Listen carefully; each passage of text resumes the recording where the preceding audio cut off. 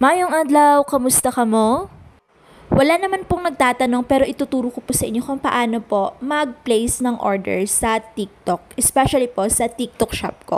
Siyempre po, unang-una po dapat may TikTok account kayo at updated yung app ninyo. Kung wala naman po, mag-download lamang po kayo sa Play Store. Next yung pong gagawin ay i-click po yung app ng TikTok at i-search po yung name ng aking shop which is Zoy's Online Tindahan. Pag nakita nyo po yung account name ko, i-click nyo lamang po ito. Then proceed po kayo sa my basket. I-click nyo lang yan.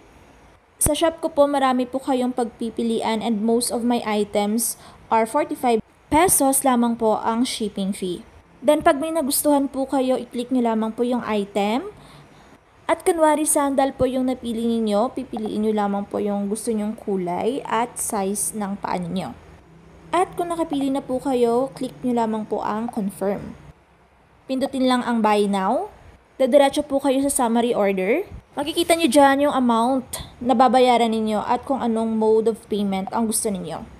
At lastly, pindutin nyo lamang po ang place order and voila! Tapos na!